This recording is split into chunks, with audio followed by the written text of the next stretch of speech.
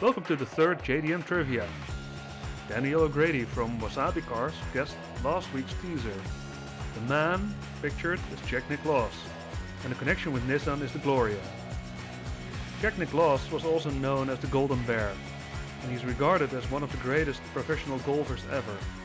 Within the 25 years that he was actively competing, he won 18 major championships.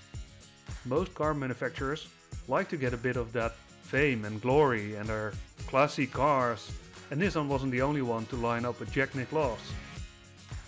He also promoted the Pontiac Grand Prix in the US for many years, and in Japan in 1973 the Isuzu Statesman Ville was also coined by him. After Isuzu killed the Statesman in 1976, this opened up the road for Nissan to take it over. And in 1979 Nissan launched the all-new Gloria 430 and it's not entirely certain what year Nissan actually teamed up with Jack, but it wasn't on the launch year.